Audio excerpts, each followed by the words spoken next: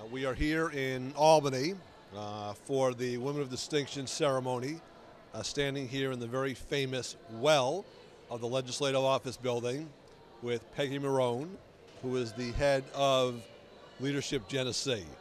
And um, Peggy is the um, recipient and the award nominee from the 61st District this year. And the reason why you're here and why we're here is because she really does a tremendous job for the young people and the youth of Genesee County, really developing and running a program uh, to get young people uh, the experience and the confidence uh, that they need to be our future leaders. Um, people of um, my age um, are our leaders right now, but we really need our youth to be able to step up. And the program that you provide for the youth of Genesee County is, um, is just tremendous. So, if you would, just tell us a little bit about um, your program and your experience here today at the uh, Women of Distinction ceremony. It's really for all ages. Is that okay to say?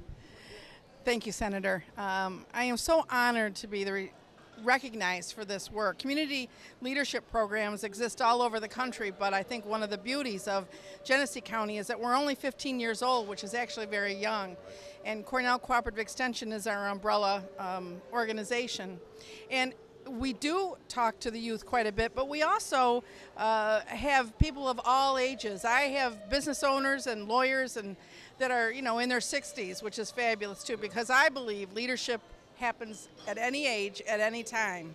And um, I also believe strongly in ensuring fair and equitable treatment of all people. So I encourage anyone who goes through the program to be sure that they get the facts, that they know both sides of an issue before they make any kind of decisions because uh, shame on them if they do, if they jump to conclusions without knowing all there is to know. So thank you, Senator, for your support of Leadership Genesee, Oh, for Genesee. County, and all that you do for us. We really appreciate it. And tell us a little bit about your day here today in Albany. You're here with family members, so tell us who's here and um, know, what the ceremony has meant to you and to them, okay? Well, my mom, who is 90, came. My niece came from Maine, uh, my brother's daughter. My daughter came from New York City, and my sister came from uh, near Bloomfield, New York, near Rochester. And, you know, what an opportunity to see all of these women uh, of all accomplishments, you know, PhDs and doctors and lawyers and I don't even have a master's degree, and I've learned a long time ago it doesn't matter what your education degree is, it's what you do with your life. And if you give good, you get good.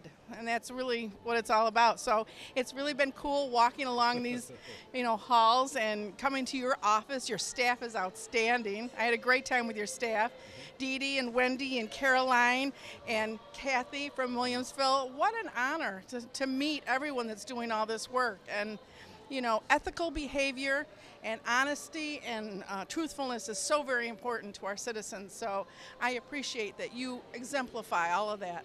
Thank you very much. It was really been uh, a real pleasure and a delight for me and my entire staff um, to host and um, and to welcome Peggy and her entire family. It's been a delightful day, and she really exemplifies what the Women of Distinction is in New York State. This is our 18th year, and I can't think of a better um, awardee or nominee that we've had representing the 61st District. So we are just so pleased and happy uh, that you could join us today and to receive this award, not only on your behalf, but on behalf of Leadership Genesee, but on behalf of all women and all leaders in Genesee County and throughout the district. So thanks again for being here. You. Okay. Thank you. Appreciate it. Don't get that on tape. No.